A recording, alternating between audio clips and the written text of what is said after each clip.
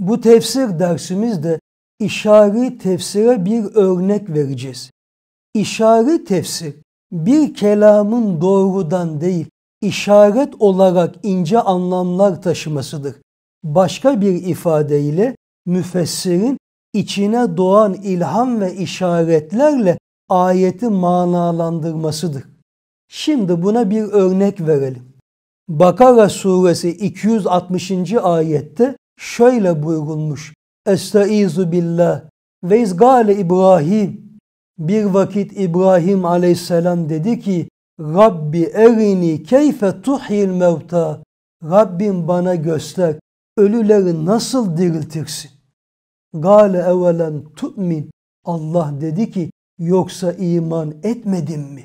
Gale bela Hazreti İbrahim dedi ki evet iman ettim liyetme inne kalbi lakin kalbimin mutmain olması için istiyorum.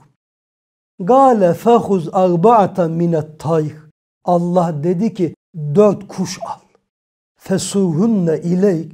Onları parça parça edip hamur yap.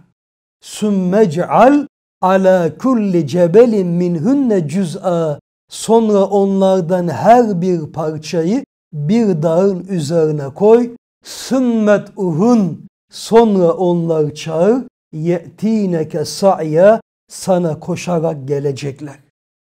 Hazreti İbrahim dört kuşu öldürüp parçalar ve her bir parçasını bir dağın üzerine koyup sonra kuşlara seslenir.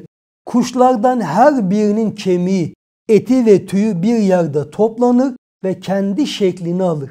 Sonra başsız olarak Hazreti İbrahim'e doğru giderler. Hayvanların başı Hazreti İbrahim'in ayakları altındadır. Hazreti İbrahim ayaklarını kaldırınca her baş kendi vücudunu bulur ve kuşlar eski haline döner. Şimdi işin işari tefsir kısmına geçelim. Hazreti İbrahim'in öldürdüğü dört kuş İbni Münzir Hazretlerine göre güvercin, karga, horoz ve tavus kuşudur. Kadı Beyzavi Hazretleri şöyle bir işari tefsir yapar ve der ki bu dört kuş nefsin dört sıfatına işaret eder.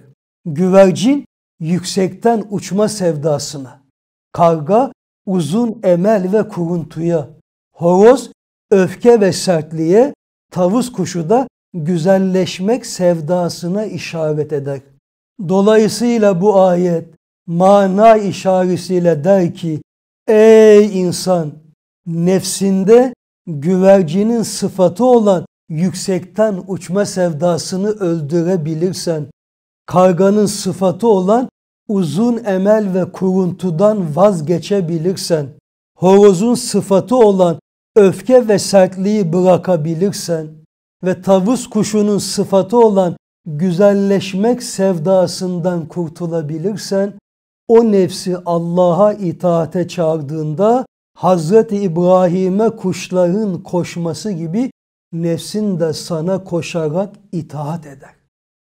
İşte Kadı Beyzavi'nin bu izahı işaret tefsire bir örnektir. Allah'a emanet olun.